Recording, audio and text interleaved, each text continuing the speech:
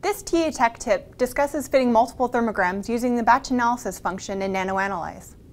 The batch analysis feature enables a user to analyze multiple DSC thermograms simultaneously. In order to utilize this function, multiple files will need to be loaded into NanoAnalyze, which has already been done here.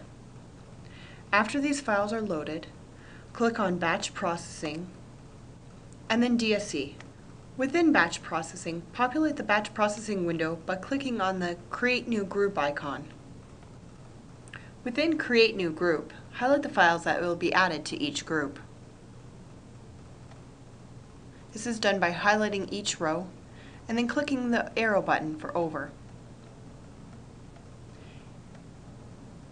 If there's a file that's been added that you don't want in that particular group, click on it and click the back arrow. At this time, the group can be renamed. Click Add Group, and then create multiple groups, again, each with a new distinctive name. Add Group. Once all the groups have been created, click Done. After groups have been created, analysis can be completed. This is done by clicking on each group and then updating items such as molar heat capacity and applying a background. All the values for volume, concentration, molecular weight persist over from the Nano DSC Run software. If changes need to be made, they can either be made line by line or by clicking on the Select All Rows in the table icon. The first application is to apply the blank to the selected rows.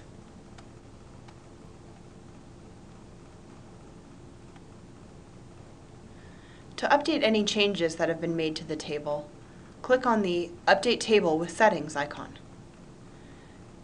So far, everything has been converted to molar heat capacity and the blank has been applied. The next application is to apply a constructed baseline.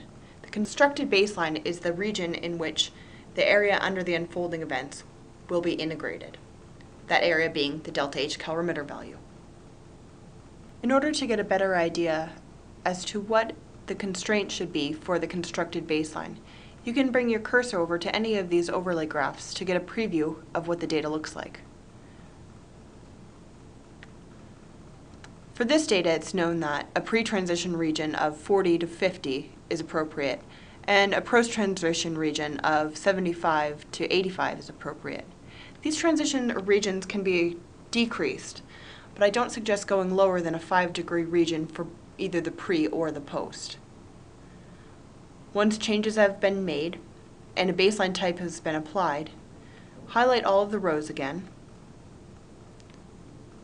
choose to update table with the settings, and now choose to execute those settings or apply table changes to the dataset.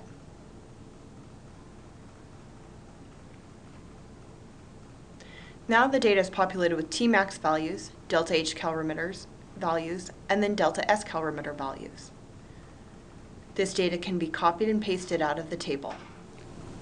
After batch processing has been completed, individual data files and the analyses that were applied during batch processing can be evaluated if desired.